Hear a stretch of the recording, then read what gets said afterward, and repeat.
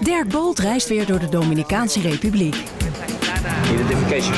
Tengo mi pasaporte, claro. Del programa. Een spannende zoektocht naar de biologische moeder van Mitchell. Este es una foto, seguro, de hace 20 años. Porque no la reconozco, no me llega. Spoorloos, maandag bij Caro en Cervé op NPO 1.